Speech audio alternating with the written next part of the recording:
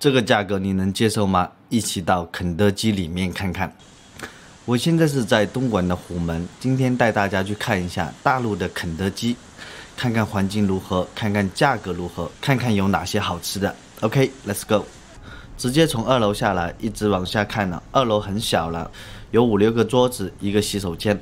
那用餐的话，主要还是在一楼。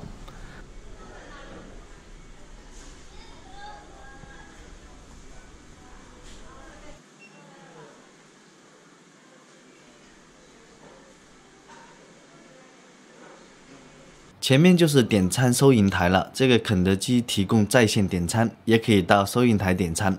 肯德基同样提供外卖跟堂食，并且提供一次性塑料吸管。听说台湾那边不再提供塑料吸管，或者说用纸吸管，这个真的很环保。那接下来看一下有哪些好吃的，看看价格怎么样，哪一边的性价比比较高。先扫一下手机自助点餐的二维码，定位到店铺地址，然后进入到下单页面。肯德基在各个区品类可能有点不同，那在大陆这边还是主要以油炸跟汉堡为主了。大部分人的饮食主要以零食啊，或者说主食沿袭为主。不过对于这样的价格，对于一些中老年人来讲的话，肯定是会比较高的了。肯德基里面的价格对于我个人来讲，作为快餐嘛，这个消费级别，这个消费价格还是比较高的。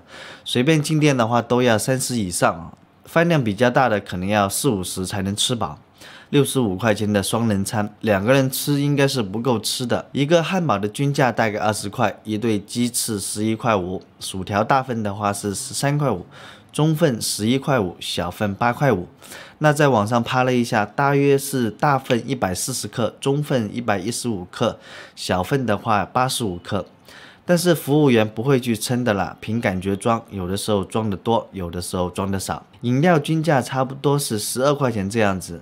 可乐大杯十一块五，中杯九块五，小杯七块钱。这个应该是肯德基里面卖的最便宜的饮料了。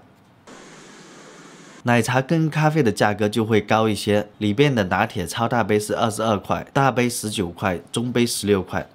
目前大陆有很多类似的肯德基啊、麦当劳这样的西式餐厅，比如说华莱士啊、德克士啊、麦肯基啊、汉堡王啊。当然还有很多一些叫不出名字的小档口。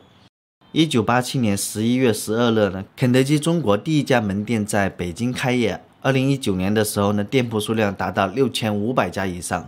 二零一九年全年呢，它的营收额达到八十七点八亿美元，同比增长百分之四啊，大概利润有七点一三亿美元。